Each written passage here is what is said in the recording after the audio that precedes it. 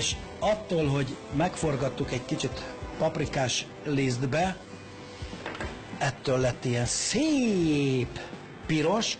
Mit szólnál tennénk ez? Már annyi, annyira jó vagy citromvágásban, Citromba? szeletelésbe, hogy pazarolós? tennénk rá egy citromkarikát, és reméljük, hogy ez az étel elnyeri majd tetszésedet. Hát kérem tisztelettel. Ilyen egyszerű. Szerintem ez olyan 10 perces étel. Lehet, hogy kevesebb. Lehet, hogy kevesebb. Nincs más hátra, meg kell, hogy kóstoljuk.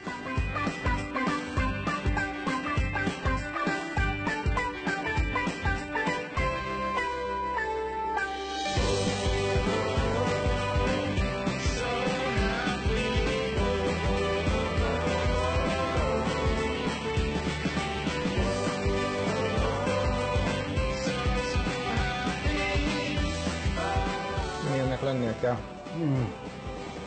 Pikáns ezzel a kis mustárral, a fokhagyma is Akkor rajta. ettem.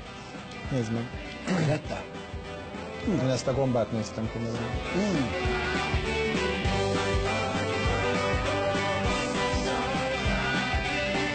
Bízva abba, hogy elnyerte az önök tetszését is ez a két étel, csak arra tudom neked bíztatni, hogy készítsék el. Nem kell sok időt a konyhába tenni.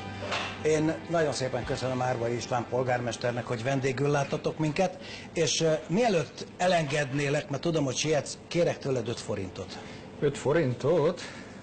Uha, ezt egy polgármestertől azért ez bátor kérés, de mivel készültem.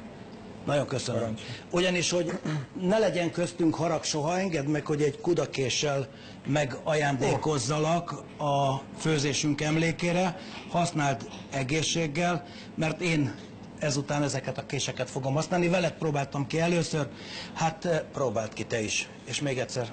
Köszönöm szépen. Annyiszor hívjál meg, ahány fajta késed van.